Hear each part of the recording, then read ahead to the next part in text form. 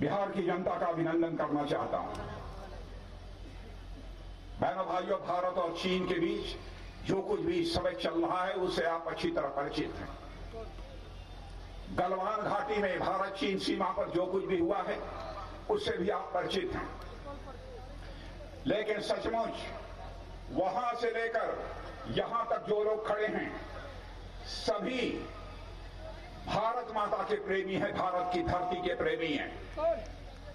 जब यह टफल चल रहा था, चीन ने भारत की सीमा में प्रवेश करने की कोशिश की। कौन सी वह रेजिमेंट थी? वह बिहार रेजिमेंट के जवानों ने अपना बलिदान देकर इस भारत की धरती की आन मान शान को बचाया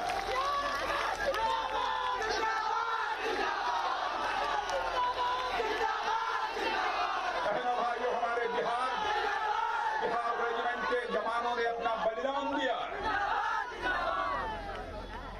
और मैं भारत का रक्षा मंत्री होने के नाते आप सबको यकीन दिलाकर जाना चाहता हूँ, बहनों भाइयों। अपने प्रधानमंत्री नरेंद्र भाई मोदी, उनकी तरफ़ से यकीन दिलाकर जाना चाहता हूँ, बहनों भाइयों। चाहे कोई कुछ भी कह ले, अपनी भारत की एक इंच भूमि को भी हम किसी भी सूरत में जाने नहीं देंगे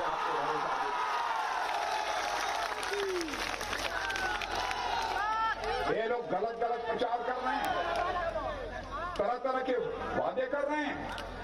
और कांग्रेस के एक नेता, ये कहते हैं कि हमारी सरकार रहती, हम तीन दिन के अंदर चीन को बाहर कर देते मैं कहना चाहता हूँ, मैं किसी प्रधानमंत्री को दोषी नहीं ठहराना चाहता, लेकिन उन्नीस सौ बासठ में जो कुछ भी हुआ है। अब मैं उसकी याद भी नहीं दिलाना चाहता हूँ आप तक। लेकिन बहनों भाइयों, उसके बाद तो लंबे समय तक आपकी ही सरकार थी। आपने क्या किया है?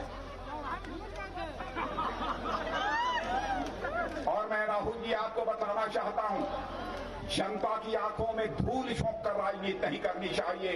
यदि कलेजे वाला इंसान होगा तो जनता की आँख में आँख मिलाकर वह राजनीति करेगा, जनता को गुमराह करके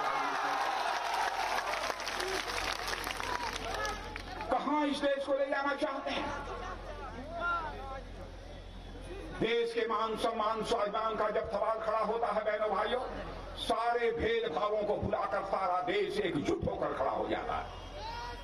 लेकिन यहाँ पर एक राजनीतिक पार्टी के द्वारा अनाप शनाप बातें की जा रही हैं। फैसला आपको करना है।